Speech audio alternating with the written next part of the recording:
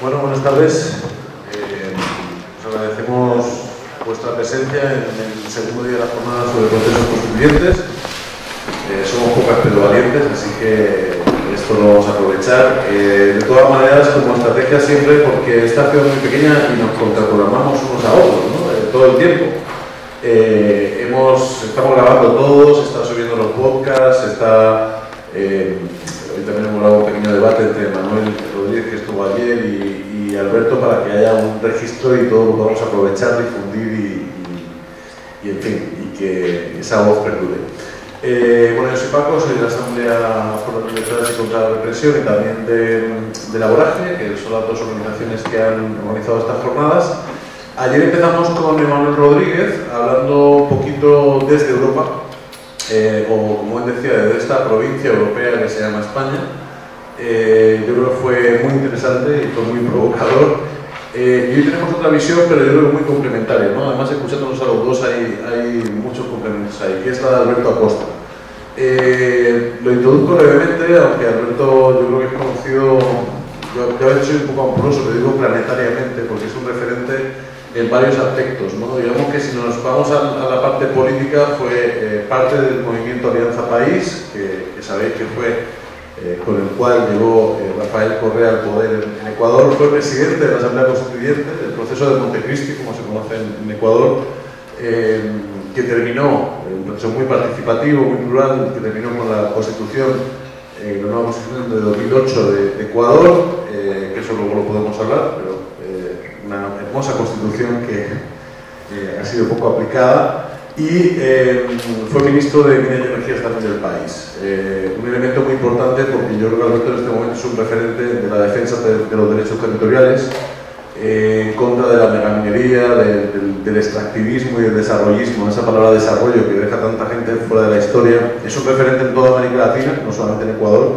y yo también que en una buena parte del planeta. Y la última referencia que quiero dar de él es eh, el trabajo que hace por sembrar y por instalar este concepto, eh, que no solamente un concepto, es una praxis del buen vivir, eh, como se dice en Ecuador, o el vivir bien, dicho en Bolivia, que es toda una lógica, una cosmovisión eh, que cambiaría las reglas del juego en muchos sentidos, no solamente económicos, políticos, sino eh, de armonización con, con, la naturaleza y de, y de relación con nosotros y con las otras de una manera muy diferente. No me lo he llamado porque lo que quiero es que Alberto tenga tiempo y que ustedes tengan tiempo luego de dialogar. Eh, tenemos hasta las nueve y media, es el límite para que nos echen de este maravilloso lugar. Y, pero bueno, vamos a ello y agradecerte, Alberto, porque eh, mientras él va al, como él decía, tiene la vocación de, de cura al hacer el, el sermón. Eh, decir, agradecerle a Alberto porque se ha desviado de su camino a Alemania, donde tiene 13 conferencias en los próximos días eh, y nos ha regalado unas horas en, en, Santander que creo que están siendo muy valiosas para todas y todos. Así que muchas gracias. En primer lugar, muy buenas tardes a todas y a todos. Me siento contento de estar aquí, contento de poder compartir con ustedes algunas reflexiones sobre el proceso constituyente de Montecristi algunos aprendizajes que he realizado sobre un proceso que tiene algunos elementos que pueden ser interesantes para la reflexión y para el debate.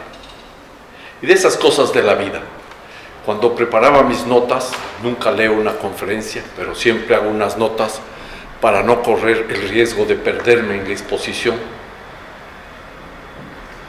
Estaba pensando insistentemente en lo que había sido el proceso de Montecristi. Era el sábado pasado, 16 de abril. Terminé de hacer mis notas como a las seis y media de la tarde, quizás un poco más tarde, y poco tiempo después tembló la tierra. Tembló en serio la tierra. Y en Ecuador sufrimos un terremoto que entiendo es noticia, acá en España y en Europa, terrible. Hay más de medio millar de personas que han fallecido y más de 5.000 personas heridas, con enormes destrozos e impactos increíbles sobre lo que sucede lamentablemente casi normalmente la población más, más pobre y desprotegida del país. Así que empiezo con este recordatorio porque Montecristi es uno de los sitios directamente afectados por el terremoto. Montecristi es una pequeña población entre Manta, el puerto de la provincia, destrozado, y la capital de la provincia, Puerto Viejo. Y escogimos nosotros ese lugar maravilloso, pequeño, de gente de gran corazón, las 25 mil personas, para hacer la Asamblea Constituyente, una de las tantas que hemos tenido en el país, para recuperar la imagen de un liberal, de un general que impulsó la única revolución que ha habido en el Ecuador, el general Eloy Alfaro, descendiente de un anarquista, entiendo que asturiano, que vivió en esa provincia y que hizo sus negocios, su vida en esa provincia. Justamente esa provincia que está siendo hoy afectada tremendamente, es víctima de este desastre natural, fue el lugar donde se produjo la Asamblea Constituyente de Montecristo. Y entonces les agradezco aquí a los amigos y a las amigas de Libres y de la Vorágine por esta invitación que me han hecho, que me ha servido incluso para conocer rápidamente algo de la ciudad de Santander y sobre todo algo también de, esta maravillosa gente que vive acá. El tema constituyente, de una u otra manera, ha estado presente en mi vida. Será porque en Ecuador tenemos ya 21 constituciones, solo una no entró en vigencia, sin contar con la constitución de Quito de 1812. Será porque en la vida política, en la cual yo me inicié relativamente joven, una de mis primeras actividades, incluso en las calles, fue luchar en contra de un nuevo proceso constituyente que se planteaba en el año 1966.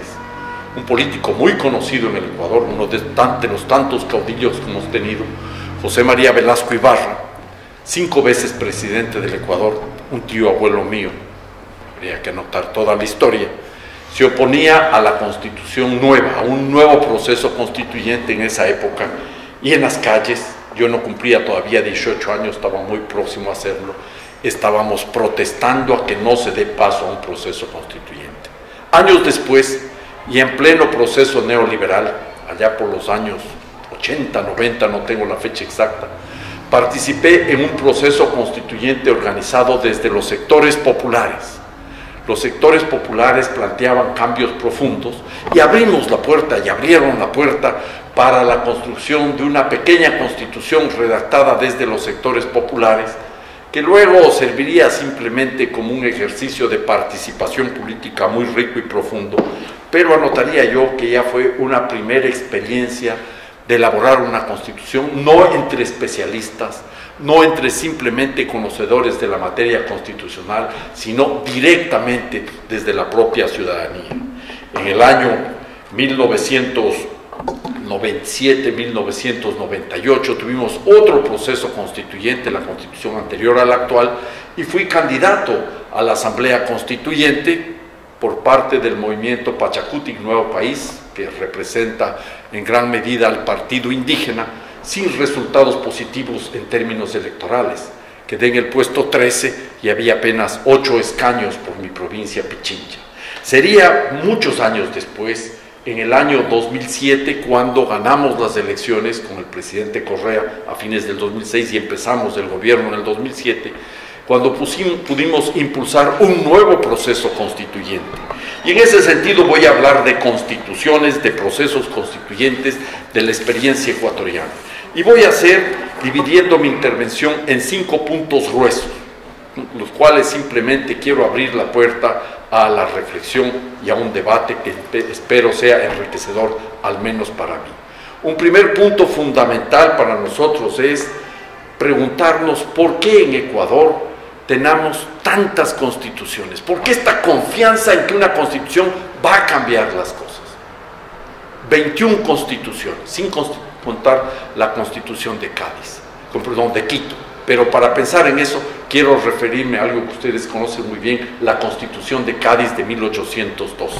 Un segundo punto, los antecedentes de la Constitución del año 2008, porque los procesos constituyentes requieren un entorno, una explicación, las razones. Aquí se habla en España de un nuevo proceso constituyente y eso está claramente vinculado a la magnífica, esa maravillosa expresión del año 2011 cuando se dio la rebelión de los indignados o esa manifestación de protesta de los indignados, en donde curiosamente tuve la oportunidad de participar directamente. Llegué a España el sábado 15 de mayo del año 2011 y fui a Barcelona y tenía Barcelona como punto de referencia para hacer una serie de trabajos en Europa, porque en esa época vivía mi hija aquí en Barcelona y entonces iba y venía de distintos sitios de Berlín, de Bilbao, dando cursos y conferencias, y cada tiempo libre que tenía me iba yo a la Plaza de Cataluña a participar activamente en ese proceso, incluso llevando unas tapas de olla para hacer sonar el rechazo que había lo constituido, buscando algo nuevo, constituir algo nuevo.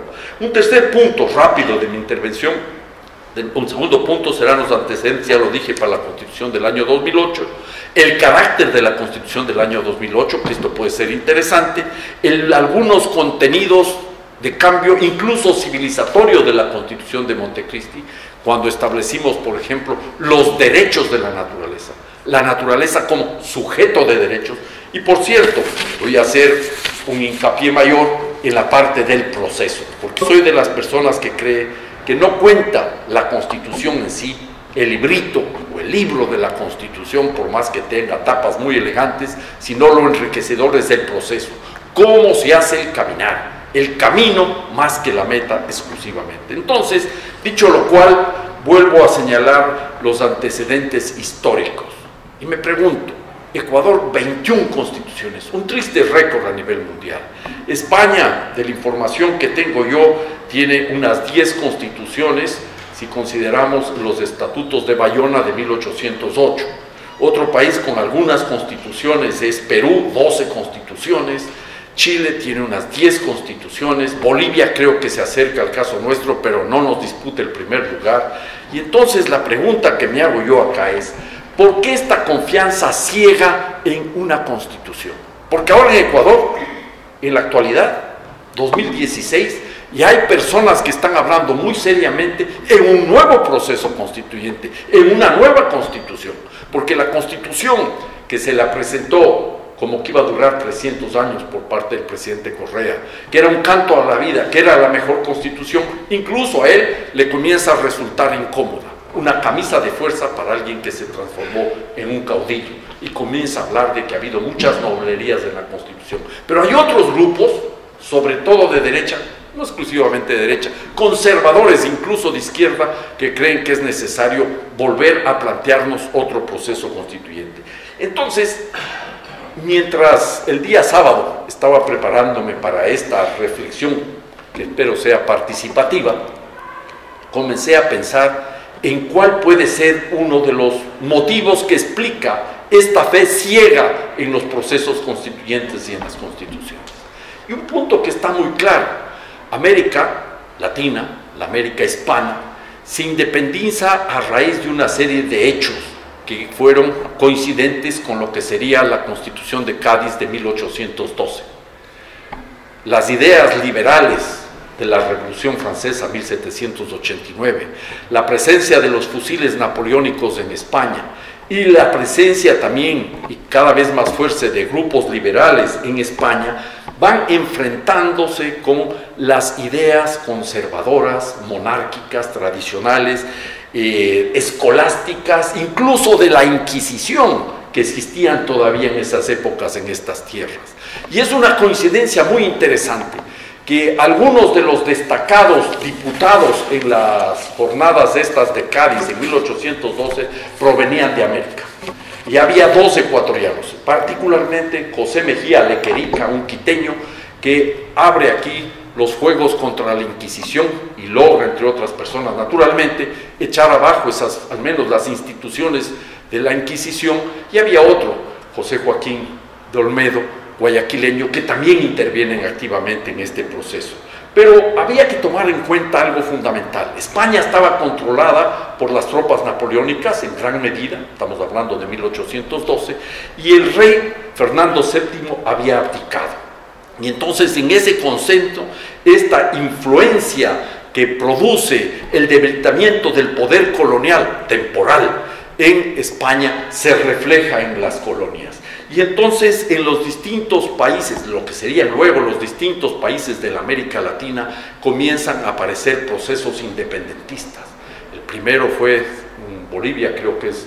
Eh, no me acuerdo este rato, se me escapó el nombre de la ciudad, luego vendrá en Quito en 1809 y muchos otros procesos. Y en Quito tuvimos una constitución, la de Quito de 1812, en paralelo con la de Cádiz de 1812. Por supuesto que eran proyectos que no tenían una sintonía estrecha, que no había el Internet, no había la posibilidad de saber qué es lo que se estaba debatiendo, pero de una u otra manera, las discusiones que se dieron en esa época fueron introduciendo una serie de elementos fundamentales en las constituciones latinoamericanas. Podríamos mencionar como punto de partida la fe católica.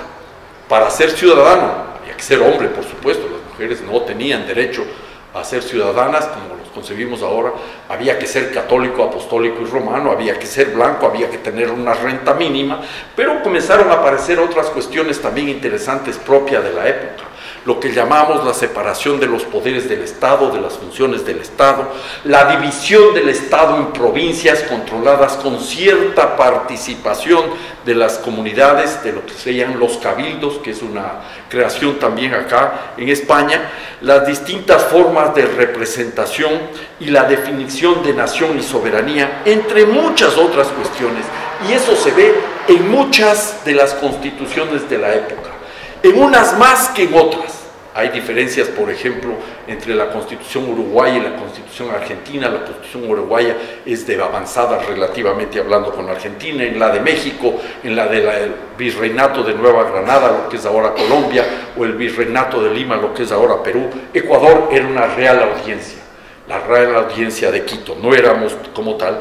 Pero lo interesante entonces es aquí que esta influencia de las ideas liberales inglesas, francesas, el pensamiento liberal español se plasma en un momento dado en constituciones y desde ahí comenzamos a creer que con constituciones se resuelve todo, porque el constitucionalismo latinoamericano surge de esta época de independencia y en el caso ecuatoriano vemos que con la constitución logramos la independencia, lo cual no es cierto, pero en el imaginario de la gente había mucha fuerza. Naturalmente no nos olvidamos que también en España duró poco estas ideas de libertad, porque regresa Fernando VII en 1814 y restaura el despotismo y se acaba todas las ideas de libertad. Pero entonces un punto uno, en Ecuador hay mucha confianza en la Constitución y creemos que con la Constitución se resuelven los problemas. Y luego, como la Constitución no resuelve los problemas por sí sola, comienzan las frustraciones y comenzamos a creer, ya lo dije, en que es necesario otra constitución para que ahora sí bien hecha vayamos a cambiar la patria y vamos a fundar la patria, porque cada constitución lleva en sí pensado la idea de la refundación de la patria. Segundo punto, rápidamente descrito. ¿Por qué llegamos al proceso constituyente del año 2007, del año 2008? Si en el año 1997 y 1998 tuvimos otro proceso constituyente, Ecuador tiene en promedio una constitución cada 10 años. Y seguimos trabajando en esa línea. Y desde este punto de vista nosotros tendríamos que entender por qué se echó abajo tan pronto la constitución del año 1998. ¿Por qué era una constitución con escasa participación popular? Fue una constitución literalmente acuartelada se realizó en Academia de Guerra del Ejército en una población cercana a Quito, en San Jorquí, con los límites estrechos que tiene debatir una cuestión de esto dentro de un cuartel. Es cierto que había posibilidad de debatir, pero las posibilidades fueron muy reducidas. Se abrió apenas un mes para que la gente pueda acercarse y hacer sus propuestas y después los constitucionalistas y las constitucionalistas aislados porque ya habían recibido el voto popular estaban en posibilidad de aprobar la nueva constitución. Pero era una constitución que surgía en, en la época neoliberal. Es una constitución que luego aparece con tres cuerpos claramente identificados el de los derechos, donde hay avances importantísimos, y reconozco, habiendo sido presidente de la constituyente posterior, la de Montecristi, que nos faltó una mayor acuciosidad para recuperar todos esos derechos de una manera más precisa. pero ahí hay derechos ambientales, hay derechos de las mujeres, hay derechos colectivos, hay derechos para los pueblos indígenas, hay muchos derechos interesantes. Un segundo capítulo que no tiene nada que ver con el primero, donde más se piensa en un país ideal, que yo diría casi que los constitucionalistas, las constitucionalistas estaban pensando en Suiza. Y un tercer capítulo donde se aborda la posibilidad de la neoliberalización de la economía ecuatoriana. Esa constitución que generó entonces una serie de expectativas quedó pronto obsoleta. Las luchas contra el neoliberalismo, contra los tratados de libre comercio, el ALCA en particular, las luchas a su vez contra un Estado oligárquico, un Estado colonial, un Estado patriarcal, no solo un Estado neoliberal, fueron generando las condiciones para que aparezcan también nuevos sujetos políticos. El movimiento indígena emerge como un nuevo sujeto político luego del levantamiento indígena del Inti Raymi, mayo-junio del año 1990, y eso comienza a transformar el país, porque ya no son simplemente las luchas en contra de las políticas tradicionales, de la, formales, sino que comienzan a aparecer elementos mucho más sustantivos. En ese contexto, también hay una suerte de resistencia desde diversos sectores de la sociedad a lo que representan los tratados de libre comercio, que en esencia prefiguran constituciones, al menos en lo económico, que van limitando el funcionamiento de los estados-nación. Desde esa perspectiva, entonces, con esos elementos históricos, elaboramos la Constitución de Montecristi. Y no lo elaboramos ya de una manera cerrada, sino de una manera abierta. En forma, en serio y en broma, acostumbro decir que yo no solo fui asambleísta, fui la mitad del día recepcionista y la mitad asambleísta, porque recibíamos en ese pueblo pequeño, Montecristi, tan afectado por el terremoto, a miles de personas, un pueblo de, 150, de, de 25 mil personas, donde recibimos delegaciones de diversos sectores de la sociedad. Había gente que venía a título individual o representaba partidos, a movimientos, organizaciones sociales, sindicatos, gremios, maestros, estudiantes. Recibimos a más de 150 mil personas. Hicimos un enorme esfuerzo para, la, para debatir de una manera abierta, franca, respetuosa con los distintos sectores de la sociedad. Y las 10 mesas constituyentes en las que dividimos al grupo de asambleístas recorrieron el país, porque lo que pretendíamos es dar ya un paso formal diferente a lo tradicional. Lo tradicional había sido que el pueblo elige a sus representantes, sus representantes elaboran la constitución y esta entra en vigencia. No, nosotros recibimos el voto popular y lo hicimos de una manera incluso novedosa para el país porque nuestros compatriotas en el exterior tenían derecho al voto y a elegir directamente sus representantes. Y además hicimos valer el hecho de que toda la ciudadanía tenía la posibilidad de intervenir en esta discusión. Y desde esa perspectiva entonces, esta constitución no fue acuartelada, fue una constitución ciudadanizada. Interesante debate. Claro, debo reconocer que no todas las propuestas pudieron ser adecuadamente procesadas. Muchas se quedaron en los archivos, seguramente todas recibieron una carta de agradecimiento, pero en la práctica era difícil porque recibimos de las 150 mil personas y de la decena de mesas de debate miles de propuestas, cerca de 6 mil propuestas diferentes, de textos completos de constitución hasta artículos específicos, pero se construyó gran parte de la constitución con este proceso de participación. Y este es el tercer punto que le da un carácter diferente a la Constitución, la participación. La Constitución nuestra se enmarca de alguna manera en lo que los constitucionalistas en la actualidad definen como el neoconstitucionalismo, que tiene un origen europeo, tiene un origen y una inspiración en la tradición positivista y en la tradición civilista, cómo recuperar los elementos republicanos con una activa participación de la sociedad. Pero vamos un poco más allá. Este neoconstitucionalista es un neoconstitucionalismo transformador, para recoger las palabras o los criterios de Boaventura de Sousa Santos, un neoconstitucionalismo transformador que no se circunscribe simplemente a repensar el Estado, sino que abre la puerta a otras lógicas. Naturalmente, esto en la práctica puede ser muy complejo, muy difícil, e incluso se plasma en una suerte de generosidad en la elaboración de la Constitución.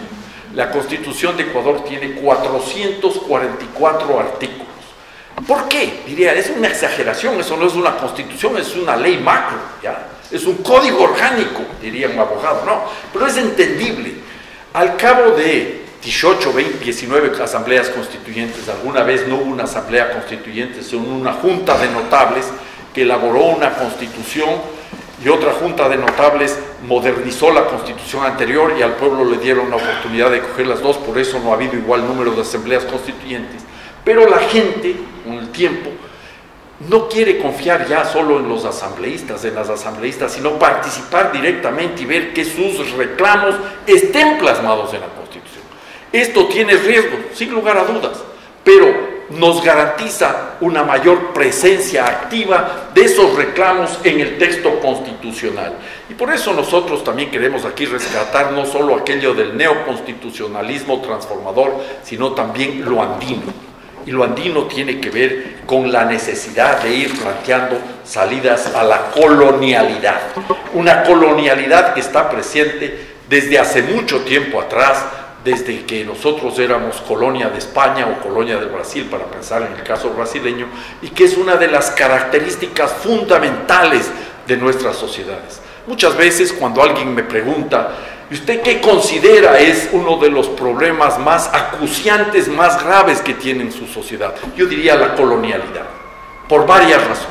Primero, porque no somos capaces de pensarnos desde nosotros mismos y siempre estamos imaginándonos un país o países a, partir de realidades distantes. Nos imaginábamos hace muchos años como Ecuador, como que Ecuador, Perú, Bolivia, Brasil, Argentina fuera Europa. Eran nuestros referentes, no España, porque habíamos estado en guerra con España y no podía ser el referente el enemigo. Pero era Europa. Luego ahora el referente son los Estados Unidos. Y eso está muy presente. Por un lado nos imaginamos países a partir de lógicas diferentes a las nuestras y por otro lado la contracara de esta colonialidad, para ponerlo en términos muy sencillos y rápidos, es el rechazo, la marginación a nuestras propias propuestas. Pero esta constitución, como la constitución boliviana, incorporan propuestas y visiones del mundo marginado. No solo es simbólico, sino de forma. El hecho de que en la Constitución aparezcan algunos términos en un idioma que había sido incluso prohibido y perseguido, como es el quichua o el aymara o el guaraní en el caso boliviano. Nosotros incorporamos el término de la Pachamama, del Suma Causai, que son un avance civilizatorio importantísimo. Y entonces, desde esa perspectiva, lo que hay que rescatar son algunos elementos fundamentales de la Constitución. Voy a sintetizar en el carácter cinco puntos básicos. Primero, todo lo que tiene que ver con la expansión del mundo de los derechos. Eso garantiza una serie de situaciones que son muy interesantes. ¿ya?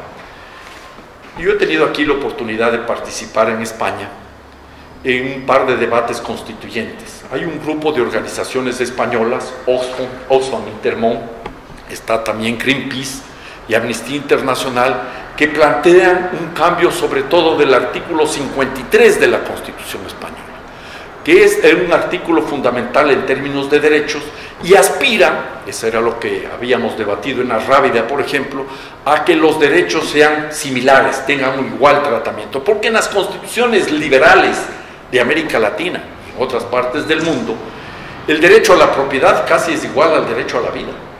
Y en nuestro caso nosotros dimos un paso más allá. El derecho a la vida es fundamental, básico. Pero los otros derechos, todos, son inalienables, son irrenunciables, son indivisibles, son interdependientes y de igual jerarquía.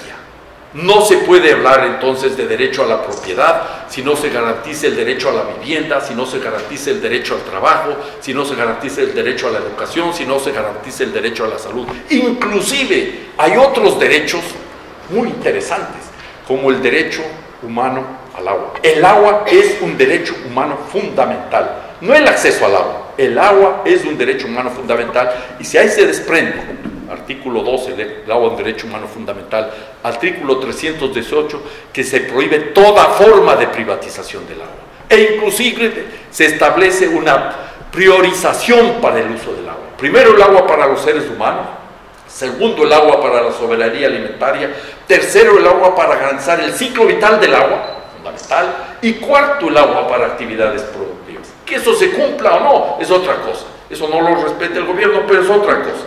Entonces acá, además, cuando hablamos nosotros de la expansión de los derechos, estamos nosotros tratando de dar y de reconocer una serie de problemas sociales y aceptamos que esos reclamos provienen de las luchas y de las diversas reivindicaciones de la sociedad, de las mujeres, de los jóvenes, de los indígenas, de los defensores del agua, grupos que participaron en algunos de los capítulos directamente como corredactores de la Constitución.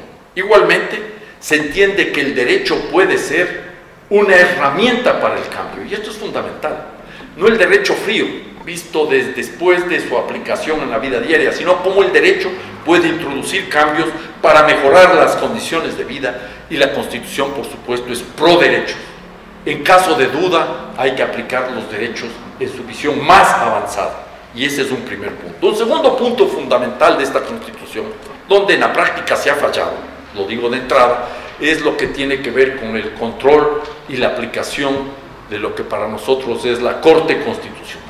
Tantas constituciones surgen por el irrespeto permanente a la Constitución, pero eso tenía que dar paso a una Corte Constitucional independiente, algo que no funcionó. El antiguo Tribunal Constitucional, sin ninguna autorización de la Constitución aprobada por el pueblo el día 28 de septiembre del año 2008, en octubre, a los pocos días de que se había expedido la Constitución, se metamorfosea en Corte Constitucional de Transición y comienza un sistemático proceso de violación de la Constitución, luego alentado por el mismo gobierno, al ya dije le comenzó a resultar una camisa de fuerza en algunos campos la Constitución y otros no lo entendió. Desde esa perspectiva también se plantea que la Constitución hay que aplicarla aunque no haya la ley la Constitución misma tiene que ir generando jurisprudencia. No tenemos el cuerpo de jueces y de juezas capaces de hacer realidad eso. No se ha avanzado, pero es un punto clave y fundamental. No puede esperarse a que una constitución funcione solo cuando haya las leyes. Hay que ir creando las condiciones para exigir el cumplimiento de la constitución, incluso sin leyes. Un tercer punto para nosotros clave fue el de redimensionar el papel del Estado. Los neoliberales buscaban el Estado mínimo, un Estado mínimo en tanto interventor como factor de desarrollo, un Estado grande en tanto represor. Nosotros replanteamos eso y entonces abrimos la puerta a un redimensionamiento del Estado y a la posibilidad de construir un Estado plurinacional, que es algo completamente diferente a lo que se impulsa en mi país. En la práctica lo que se hace es establecer unas cuantas oficinas, unas cuantas instancias donde se procesan temas indígenas o de afroecuatorianos, pero no es un verdadero Estado, un verdadero Estado plurinacional que está en camino. En Bolivia se ha avanzado más, pero tampoco es tanto. Y este Estado debe ser el promotor y el garante de los derechos. La Constitución es garantista. Y eso le incomoda al actual gobernante, que era el que impuso la Constitución. Y entonces, no nos olvidemos que el Estado no es neutro, como discutíamos ayer con Manuel aquí el tema, no hay un Estado neutro, el Estado responde a una lógica y debe ser un nuevo Estado, que no sea más un Estado colonial, un Estado oligárquico, un Estado neoliberal, un Estado patriarcal. Pero hacerlo eso desde el propio Estado, desde la propia estructura, no me atrevería a decir que es imposible. Pongámoslo en términos amables para no desanimarles.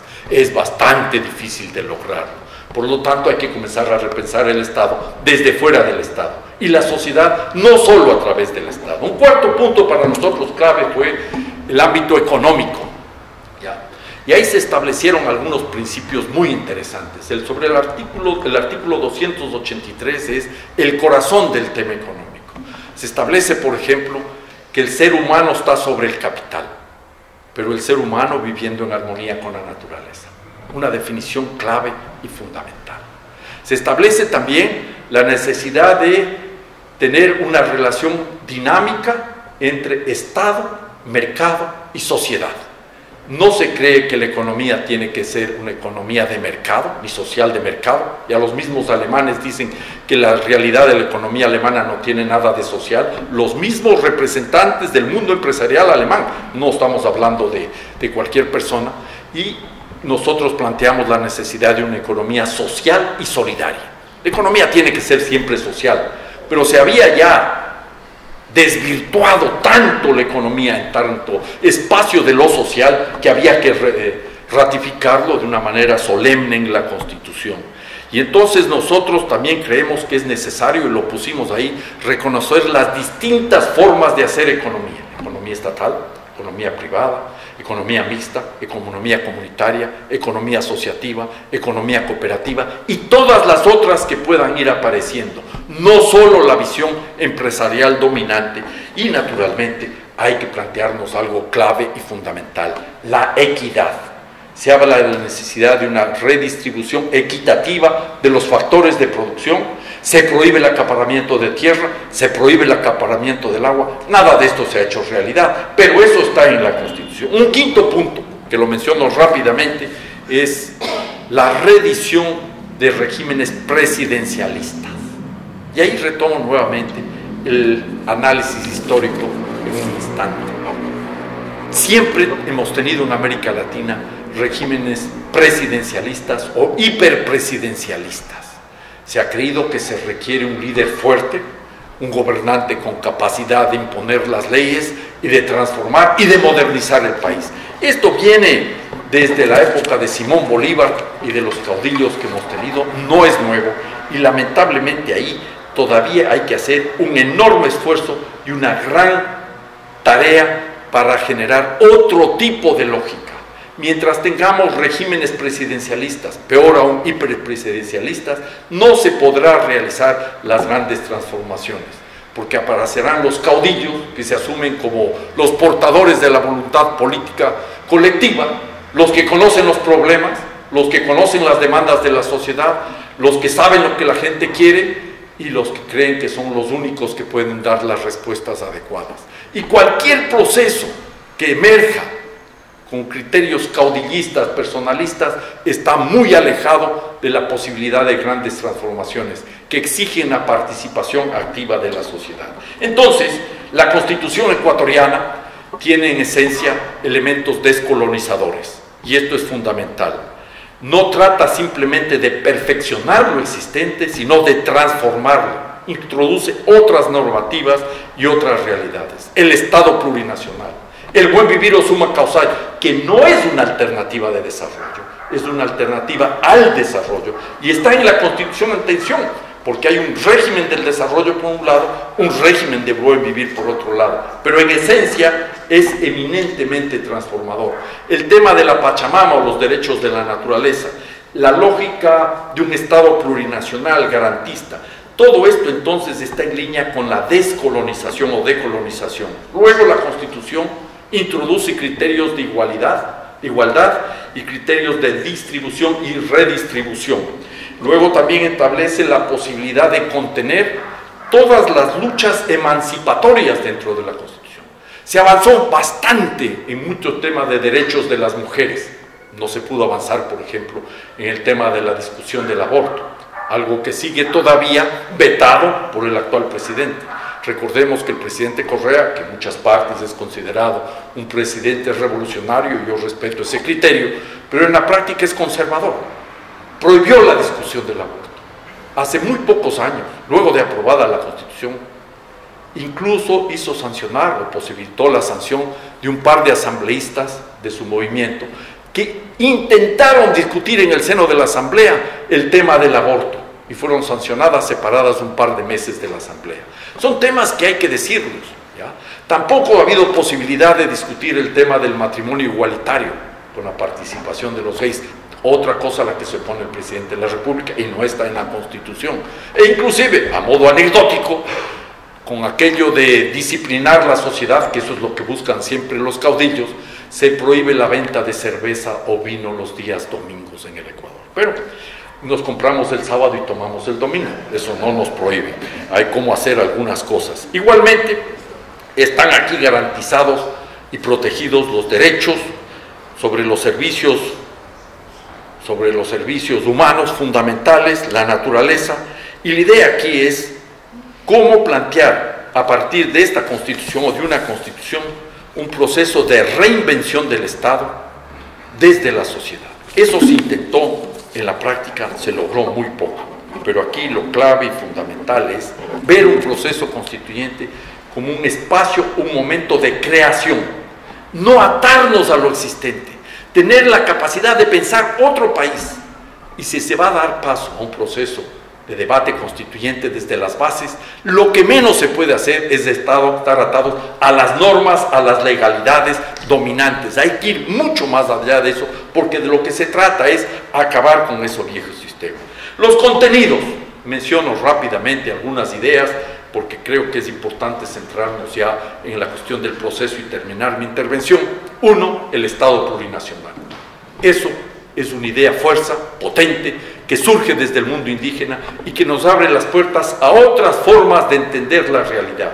No se trata de regresar al pasado y de restablecer los sistemas indígenas de gobierno que existían, pero se puede aprender dos sistemas de gobierno, incluso para repensar la democracia.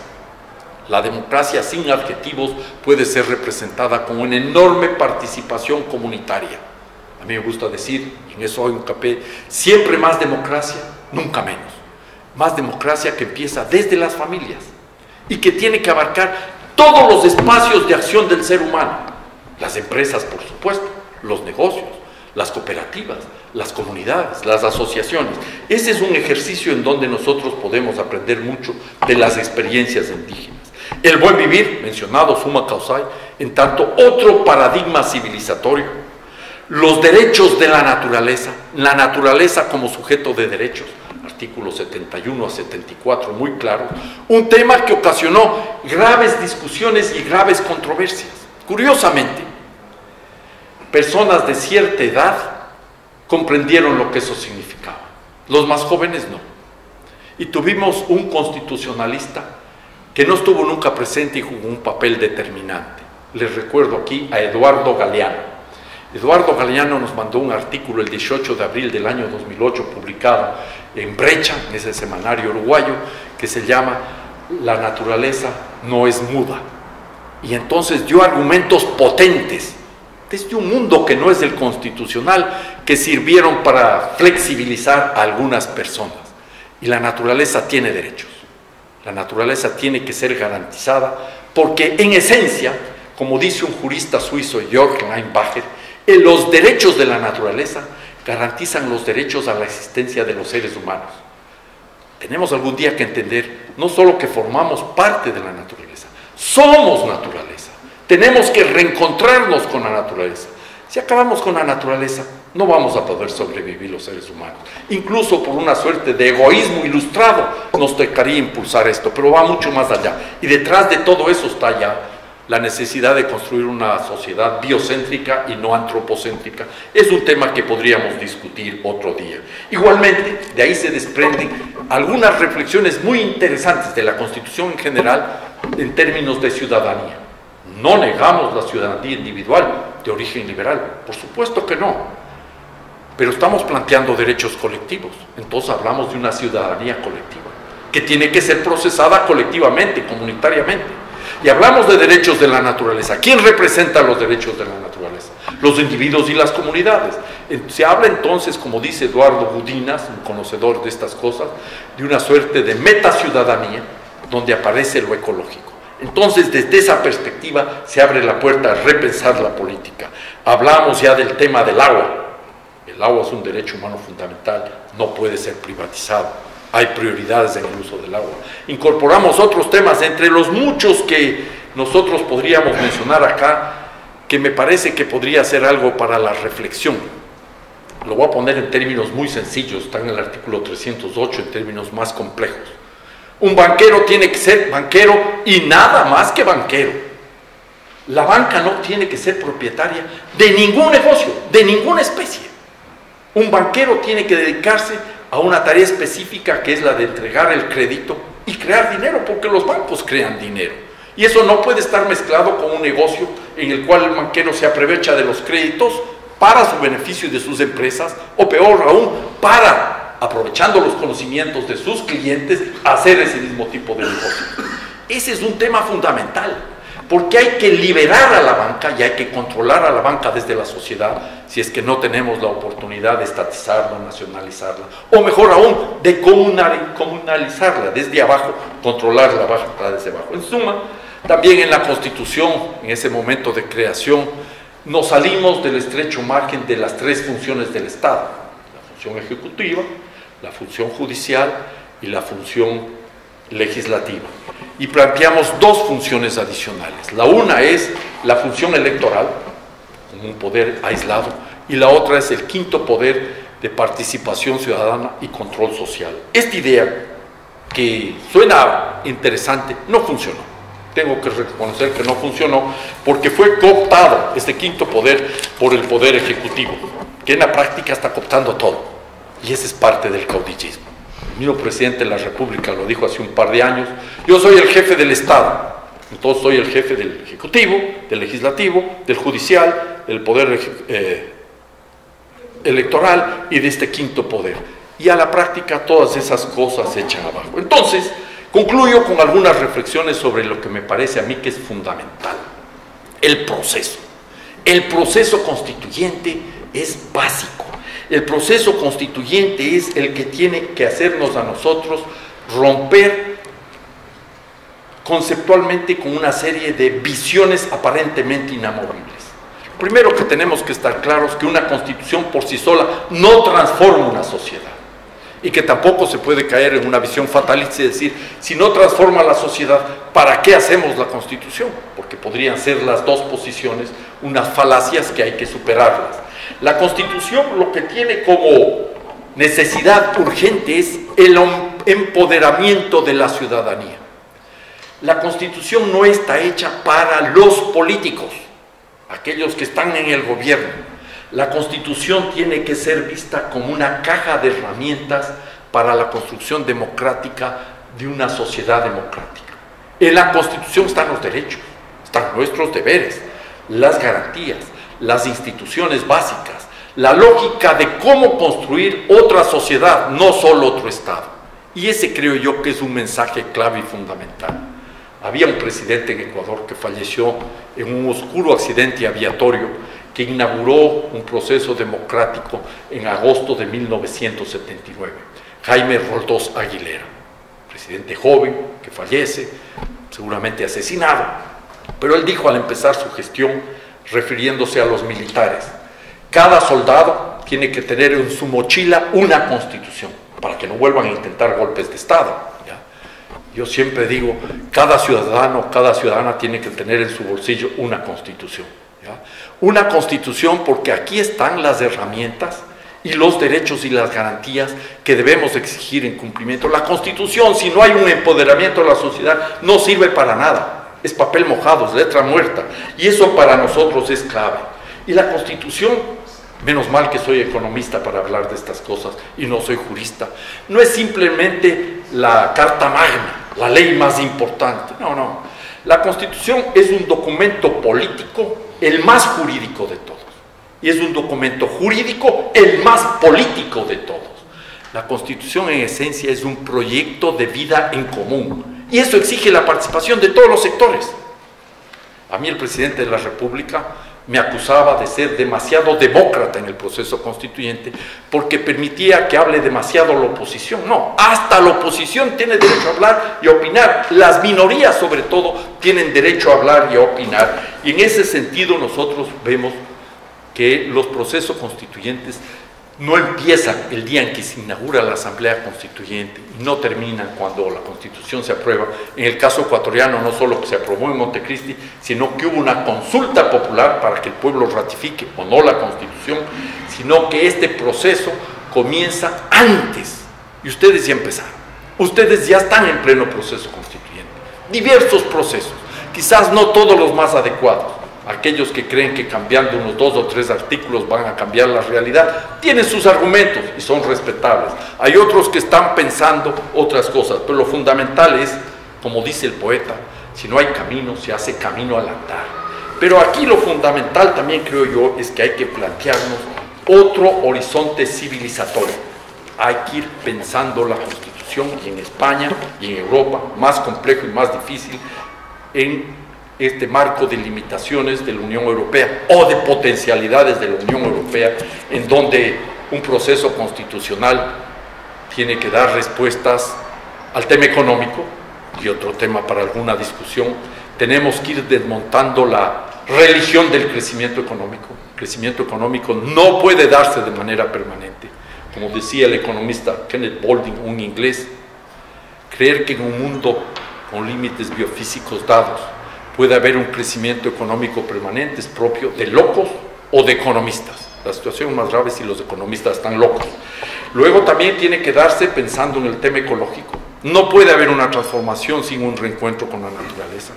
Tiene que darse garantizando los derechos planteados desde el mundo de la mujer, desde el feminismo, la economía del cuidado, las libertades sexuales, tiene que darse también pensando en todo lo que significa la descolonización, tarea también pendiente en España, no solo en los países que hemos sido colonizados.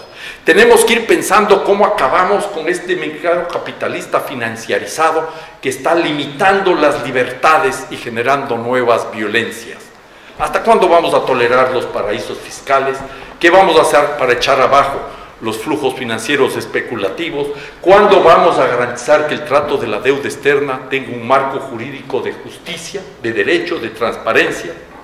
Recuerdo, y ahora estábamos hablando muy rápidamente sobre el tema, que aquí en Europa se les dio un trato a los alemanes en febrero de 1953, en el Tratado de Londres del 27 de febrero, que debería ser la práctica para todos los países de Europa. ¿Por qué no para los griegos? ¿Por qué no para los portugueses? ¿Por qué no para los españoles de italiano? Esas son preguntas que me planteo y les planteo a ustedes. Pero hay algo clave y fundamental. Cualquier proceso constituyente, si quiere tener éxito, tiene que garantizar primero justicia y equidad.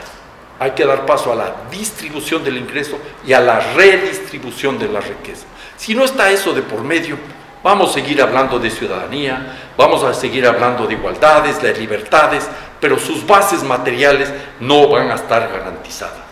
Entonces, la tarea de un proceso constituyente es pensar otro mundo haciendo que ese otro mundo nos garantice una vida digna a todos y a todas. Muchas gracias.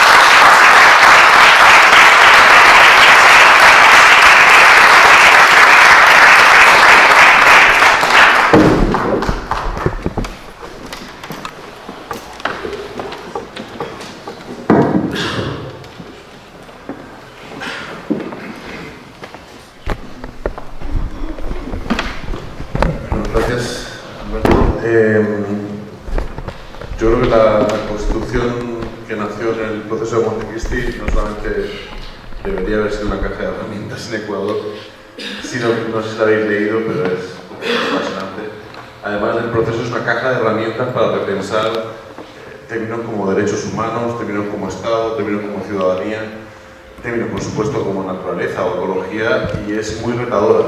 Eh, yo creo que plantea temas eh, que en Europa, ya sabéis que somos expertos en tener respuestas. Básicamente eh, o las tenemos o que mujeres tenemos todas, pero hay preguntas interesantes sobre algunas de las cosas que son como incuestionables, como los derechos humanos pues todo el mundo se refiere a la Carta de Naciones Unidas de Derechos Humanos y uno lee la Constitución de Ecuador y la verdad es que eh, eh, lo una cosa muy pequeñita, la, Carta de Naciones Unidas. Bueno, eh, abrimos el turno, tenemos un, buen rato para charlar, si queréis, para preguntar, para dudar. Pedro. Sí, bueno, primero muchas gracias porque esto, esta charla es un regalo de los, de los gordos. Eh, a ver, dos, dos, cosas. Fabuloso, el, lógico, por otra parte, el, instaurar el agua como derecho humano. pero igual habría otro, hay otro paso siguiente que no sé si se os ha quedado en el camino o será otro momento y tal, pero igual que el agua, eh, como derecho humano fundamental y básico, la energía. Del sol, del viento, la energía. Eso es una, una materia común que debería ser inapropiable y que todos los rendimientos deberían ser colectivizados. Yo veo que hay un paso. Y luego otra cosa eh, que entendiendo que, sí, que claro que las constituciones, eh, una de las grandísimas cosas que tienen es el proceso en el que se van haciendo, pero todo este trabajo que habéis hecho vosotros, que me parece, vosotros, el pueblo ecuatoriano, toda la colectividad que haya intervenido en esto, eh, ¿Cómo, cómo ves las posibilidades de, o, cómo están otras constituciones de, América Latina, cómo pueden estar las constituciones europeas y cómo puede ser eh, todo este trabajo que tenéis, eh, qué se puede hacer y cómo puede ser exportable para aprovecharlo, porque esto es un trabajo cojonudo, mi ignorancia es un trabajo socialmente cojonudo. varias otras preguntas, unas dos, tres. ¿Alguna pregunta más? Vamos dos o tres y así se van comentando. Eh, en toda tu exposición has dejado ver que en unos procesos constituyentes es fundamental la participación ciudadana. Eh, en Montecristi se dio eh, saber por qué fue tan fuerte la participación ciudadana. Quizá esa participación viene de los movimientos indígenas y ellos son los que incorporan eso o, tradición ya existente en Ecuador de participación o del campesinado. ¿De dónde viene esa fuerza de, la participación? Ok, listo. Gracias. En la constitución nuestra hay un punto que es muy importante, que hay que tenerlo en consideración que es el tema de la soberanía, pero la soberanía en plural, soberanías. Entonces ahí aparece, por ejemplo, la cuestión de la soberanía energética, que es algo que para un país como Ecuador resulta más que evidente. Nosotros tenemos no solo una enorme disponibilidad de recursos energéticos fósiles, aunque se están acabando, como es el caso del petróleo, sino que tenemos hidroenergía, energía solar, energía eólica y otras oportunidades. Tienes toda la razón, Pedro. No se ha avanzado en eso para verle a la energía no simplemente como un factor de producción, no simplemente como un bien a ser comercializado, sino verle desde una perspectiva de derechos o un bien común. Yo creo que esos son elementos que todavía se tienen que avanzar, pero rescato como algo interesante el tema de la soberanía que es una cuestión que hay que hablar en las constituciones. Nuestras constituciones, las tradicionales, esas veintitanto que mencionaba, tienen la vieja lógica del Estado tradicional, la soberanía del Estado nacional, los límites, las fronteras. En América Latina somos muy propensos a hablar de integración regional, pero el rato que nos toca la soberanía nacional, todo se viene para abajo. Hay gobiernos y hay países que propugnan los tratados de libre comercio como una puerta para entrar al mercado mundial, a la modernidad y a la resolución de los problemas. Y no se dan cuenta que con un tratado de libre comercio lo primero que pierden es soberanía en el manejo económico. Pero eso no les interesa tanto. La otra soberanía, la que nos garantiza nuestros límites, nuestras fronteras, muchas de ellas eh, producto de la colonia, del la época de la colonización de España o de Portugal, esas son intocables y eso es algo que nosotros tenemos también que ir aprendiendo.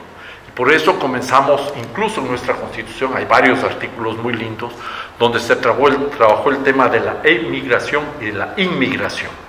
Y hablamos de la necesidad de ir construyendo una ciudadanía universal. Todos los seres humanos tienen derechos en nuestro país. Suena muy lindo, en la práctica no es así. Ah, le agarran a algún personaje que no está con papeles y le meten a un hotel que es casi una cárcel y hasta poderlo votar después. Tenemos casos muy tristes como de una periodista franco-brasileña que fue expulsada de la manera más brutal. Podría contar incluso cosas cercanas a mi familia, pero no es el caso. El hecho real es que hay que incorporar el tema de las soberanías desde una perspectiva más amplia. Hablamos también de la soberanía alimentaria, que no es lo mismo que seguridad alimentaria, son cosas completamente diferentes. En los Estados Unidos hay política de seguridad alimentaria que es asegurar la alimentación a como sea, incluso utilizando recursos bélicos, para ponerlo en términos muy claros y sin rodeos. En nuestra constitución se habla de soberanía alimentaria y nos falta, por supuesto, sin lugar a dudas, avanzar a otra soberanía que para mí es clave, la soberanía del cuerpo. Si los seres humanos no podemos decidir sobre nuestro propio cuerpo, no va a haber una verdadera soberanía. Pero esa idea de pensar el mundo con otra lógica de soberanías, para ir construyendo una mayor autodependencia, una mayor forma de organización desde lo comunitario, me parece que es clave y fundamental. Si vamos a exportar constituciones, la idea no es mala, a lo mejor podríamos hacer negocio. Mire, Ecuador podría tener una gran capacidad, tenemos una ventaja comparativa, diría un economista neoliberal nos mandas los datos de la Constitución, yo te elaboro como quieras, dame unas par de pautas generales y te mando una Constitución, hasta dos o tres, para que escojas. Pero no se exportan las constituciones, hombre. Se puede aprender mucho, basta de copiar, porque si copiamos no vamos a poder cambiar y nos viviremos copiando unos a otros y no encontrando nuestras propias capacidades. Y luego el tema de la participación ciudadana, participación social, se entiende sobre todo en este proceso constituyente porque en el año 2006 triunfa el actual presidente de la República como resultado de un proceso de creciente participación de los sectores sociales, organizados y no organizados, la ciudadanía común y corriente, se expresa en las calles exigiendo participación Tuvimos la rebelión de los forajidos que se llamó en abril del año 2005, ciudadanía común y corriente que se moviliza. Hemos tenido varios levantamientos indígenas. Las luchas del movimiento sindical, aunque debilitadas, están ahí presentes. Las luchas de los ecologistas, las luchas de las mujeres, de los estudiantes, de los maestros. Y eso genera entonces un ambiente de creciente participación ciudadana. Hay historia detrás de todo eso. Lamentablemente, el presidente de la República, que tuvo una escasa participación previa en este tipo de procesos de lucha, se cree a ratos que es un relámpago en cielo despejado. No, las nubes ya estaban cargadas con mucha historia de luchas, de resistencia y de construcción de propuestas. Nosotros, los que estábamos ahí en Montecristi, las personas que éramos asambleístas, no fuimos los dueños de estas ideas. Lo que hicimos simplemente es sintonizarnos con esos reclamos de la sociedad e incluso escucharles y asumir sus propuestas. Los artículos que tienen que ver con el agua, que son muy lindos y hay más porque es una constitución del agua, fueron en realidad escritos con las propias organizaciones que defienden el agua, de organizaciones de indígenas, de campesinos, de gente que maneja el agua de riego, del agua comunal de agua potable. En suma, fue un proceso muy enriquecedor la participación fue fundamental. Sí, luego se, se complica el tema de la participación, incluso al final de la Asamblea Constituyente. Yo me vi forzado a retirarme de la presidencia porque yo valoraba mucho tanto el debate dentro de la Asamblea como la participación fuera de la Asamblea.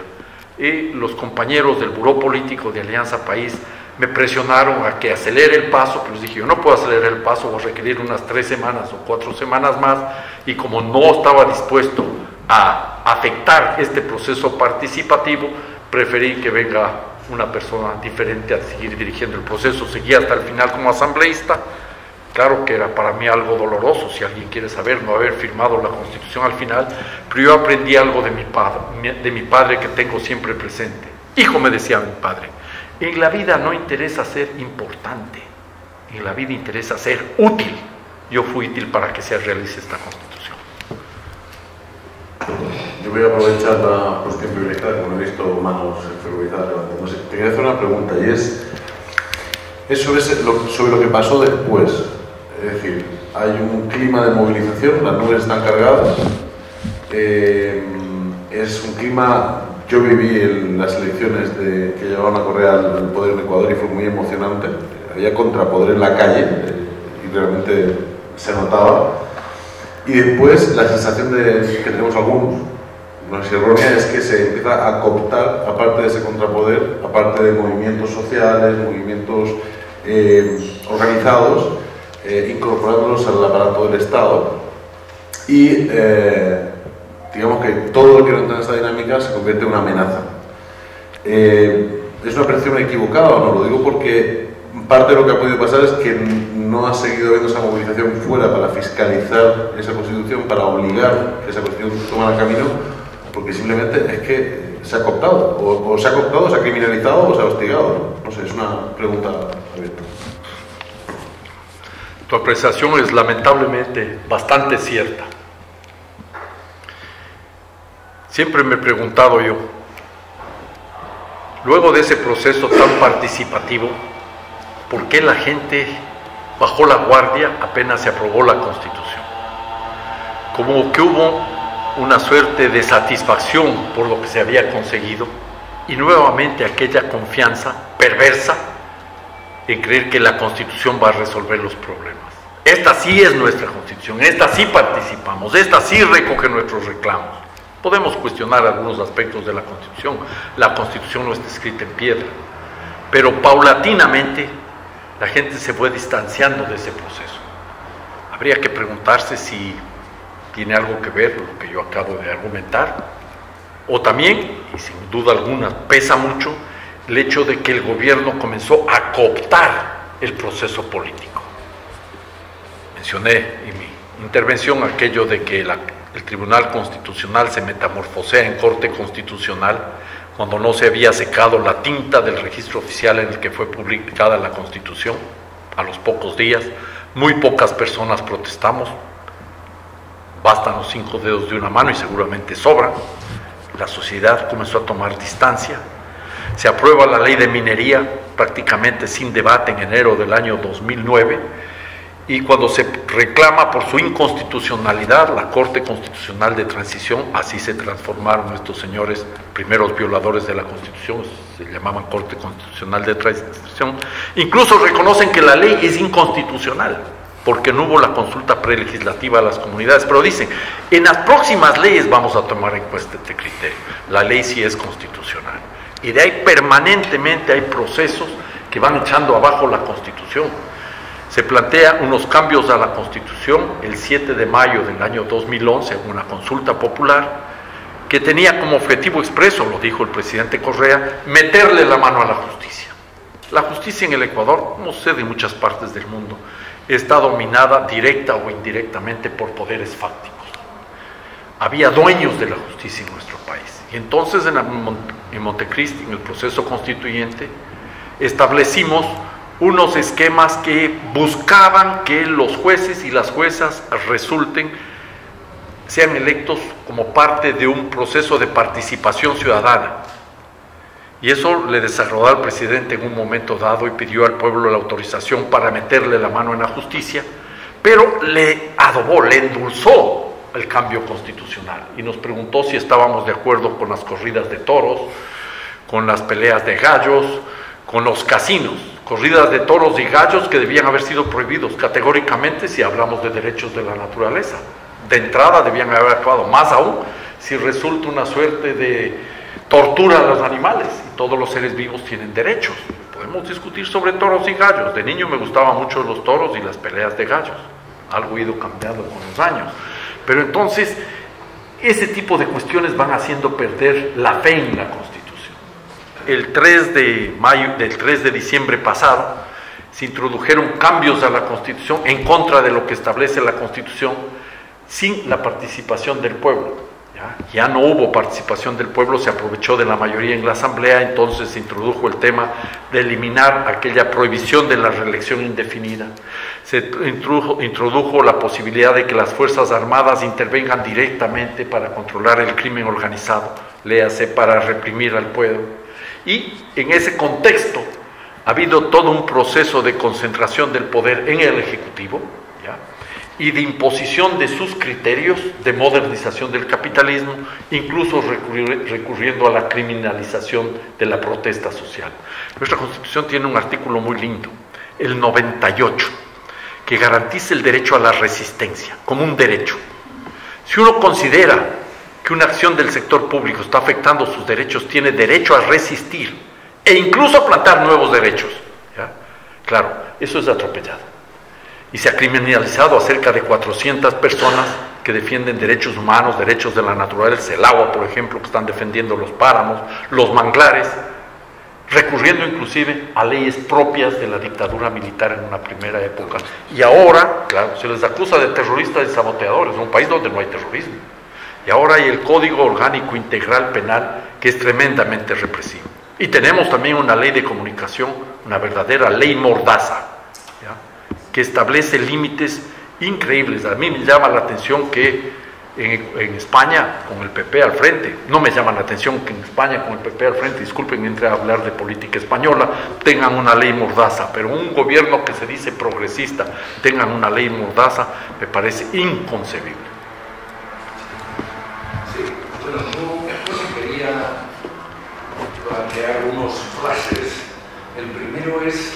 Eh, eh, Ecuador, desde la llegada al poder de Alianza País, eh, Rafael Correa lleva un periodo de estabilidad política.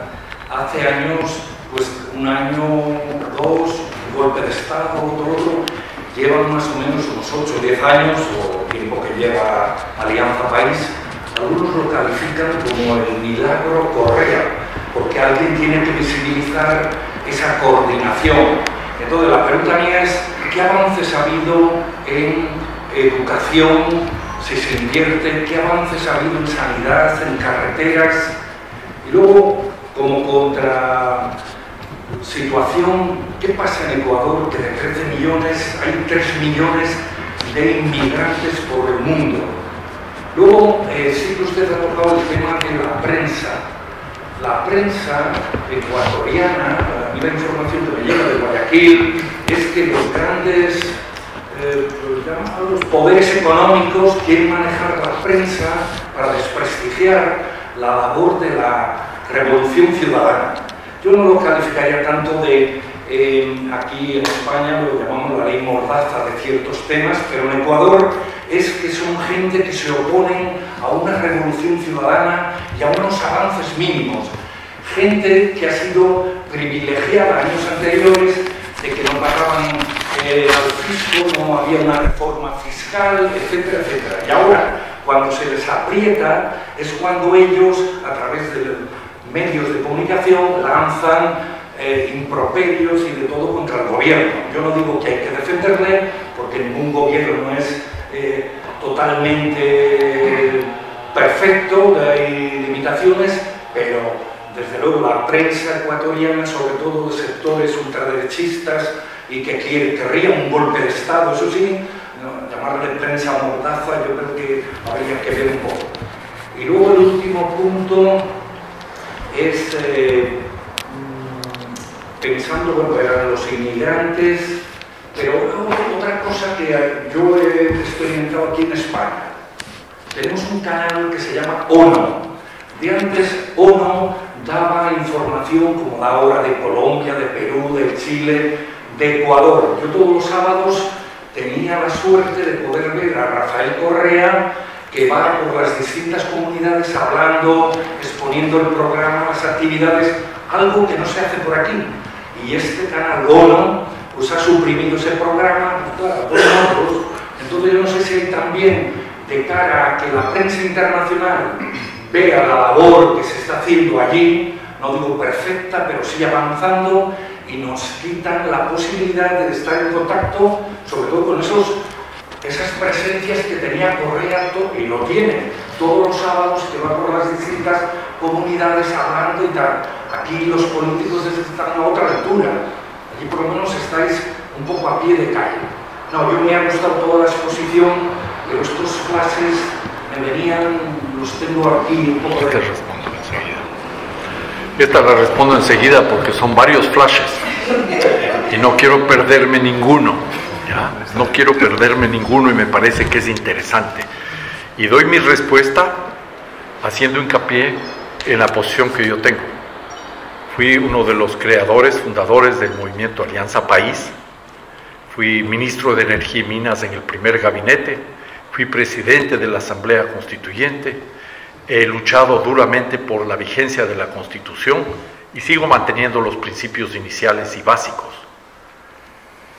Ahora soy muy crítico del gobierno, así que voy a hablar desde esa posición, que puede estar cargada con todas las subjetividades del caso, no voy a negar, pero voy a tratar de ser, ya sé que no es posible, lo más objetivo.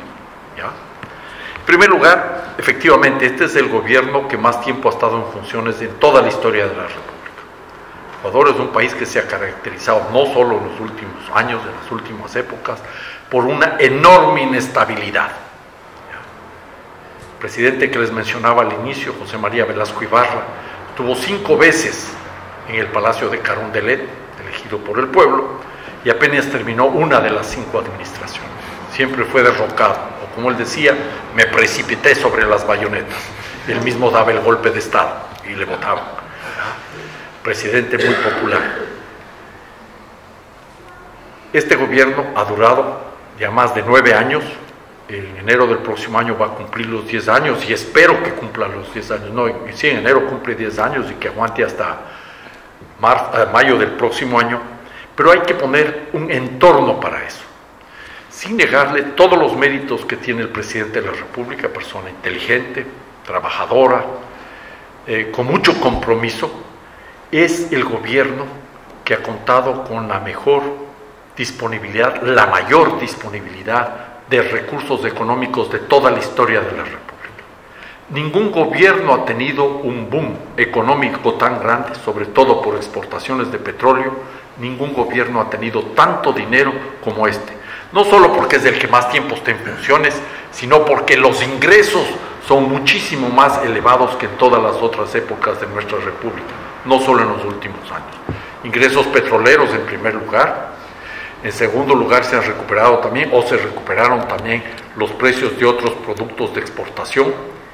Para mencionar de paso la migración a la que vuelvo más adelante, eh, las remesas que envían nuestros compatriotas desde el exterior siguen siendo más importantes que el segundo rubro de exportaciones que es el banano.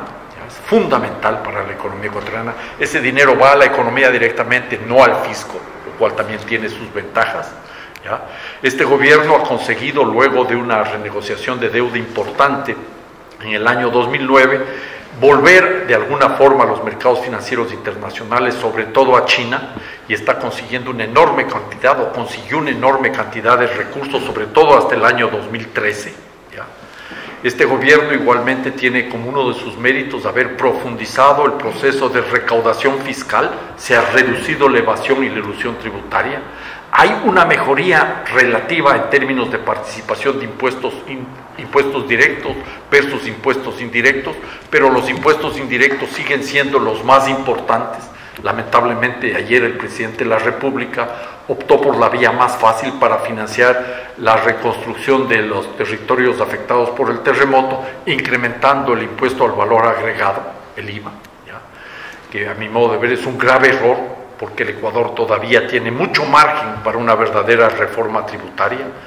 Hay que anotar que ese mayor monto de recursos disponibles por ingresos adicionales ha sido mejor distribuido que en otros de gobiernos, que en otras épocas.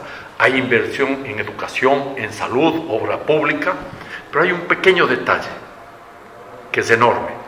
No ha habido una distribución de la riqueza, una redistribución de la riqueza. Y eso les ha permitido a los grupos económicos sacar una tajada enorme de esos ingresos adicionales, a través de múltiples vías no se afectaron las estructuras oligopólicas de la economía ecuatoriana. Anoto, porque estoy dispuesto a ser lo más objetivo posible, dije, que tenemos desde el año 2010 una ley de control del mercado para controlar las prácticas oligopólicas y monopólicas. Pero esa ley es insuficiente, no afecta la concentración en los mercados. Un par de ejemplos. Hay una empresa que controla el 82% del mercado de las bebidas alcohólicas, con perdón, gaseosas no alcohólicas. Pónganle en el nombre, ya saben qué empresa es. Aquí en España debe ser algo similar, no tanto, porque aquí hay leyes que controlan ese tipo de concentración del mercado. Hay una empresa que controla el 62% del mercado de la carne, hay dos empresas que controlan el 91% del mercado del aceite de consumo humano, hay tres familias dueñas de cinco ingenios que controlan el 91% del mercado del azúcar, hay dos empresas que controlan el 76% del mercado de los productos de higiene personal. Hay dos empresas, una es Telefónica, que controlan cerca del 80% del mercado de la telefonía.